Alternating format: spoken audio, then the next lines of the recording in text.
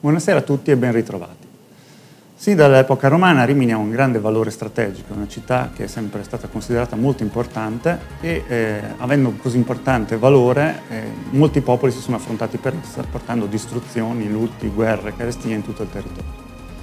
Da sempre quindi Rimini è una città che ha a che fare con, eh, con la guerra e con eh, tutto ciò che di terribile la guerra porta e tutto ciò lascia anche nel, nel substrato culturale un, um, dei lasciti importanti eh, anche a livello del, di immaginario, soprattutto di leggende. E proprio di una di queste leggende vogliamo parlare eh, questa sera. Si tratta della, di una leggenda che, eh, il cui il primo a riferircelo è lo scrittore Procopio di Cesarea. Procopio di Cesarea ci parla della guerra greco-gotica, la guerra che praticamente nel VI secolo coinvolgeva i bizantini contro i goti, e nel corso di questa guerra Procopio Cesarea nel libro XX ci racconta che in un villaggio eh, a sud di Rimini eh, un paio di donne erano diventate famose per aver mangiato eh, 18 persone. Um, questo succedeva perché eh, la guerra si portava avanti da circa dieci anni, non c'era praticamente più nulla da mangiare nel territorio riminese, quindi queste due donne che probabilmente abitavano in una villaggio che potremmo considerare eh, situato nell'odierna San Giovanni Marignano, queste due donne, eh, con la scusa di eh, far eh, dormire i viandanti nella loro casa, eh, uccidevano e poi mangiavano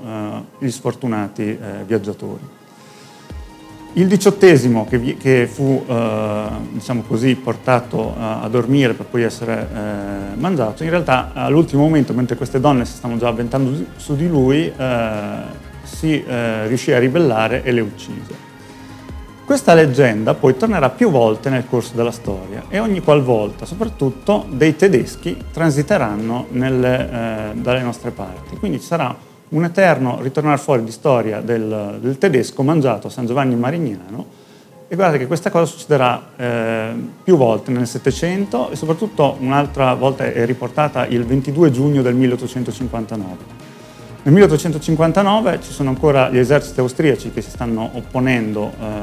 ai piemontesi, Rimini proprio il 22 giugno si staccherà dallo Stato Pontificio per aderire al Regno di Sardegna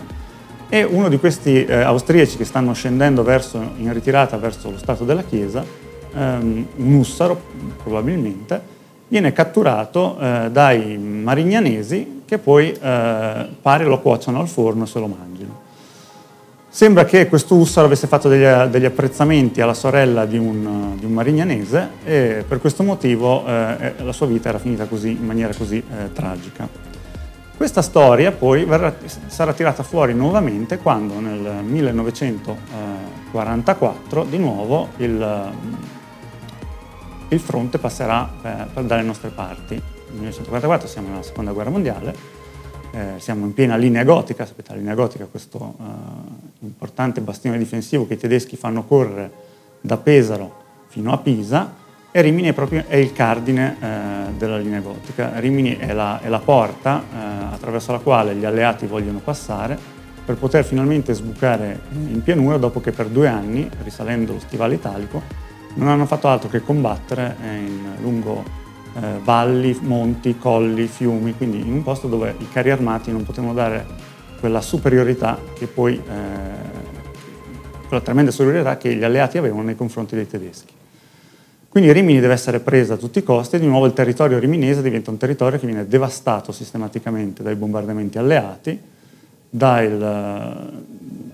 dalla fame quindi dalla, e soprattutto dai, dai, dagli sfollati. E, e, tutte le persone scappano via dalle città proprio perché, come,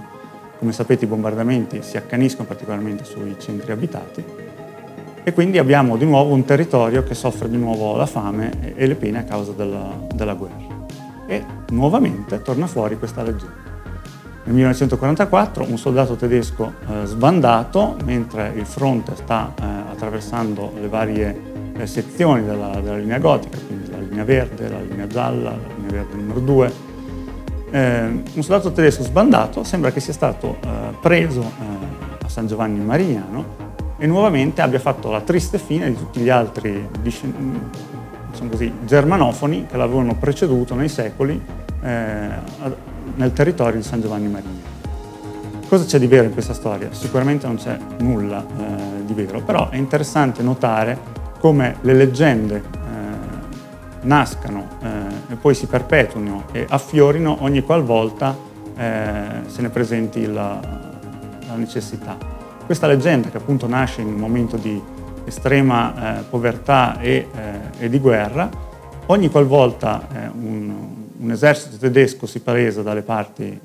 della Romagna, si torna fuori con i, la, loro, la, triste fine che fa un qualche membro delle, delle forze armate eh, germanofone eh, nel territorio di San Giovanni in Marino. Non ci sono ovviamente prove e documenti che questo sia mai realmente successo, soprattutto per quel che riguarda il 1944, dove ovviamente ce ne ricorderemo, però eh, fa sorridere appunto di questo reiterarsi della, della leggenda. Eh, grazie a tutti e a risentirci alla prossima puntata di Curiosando tra la storia.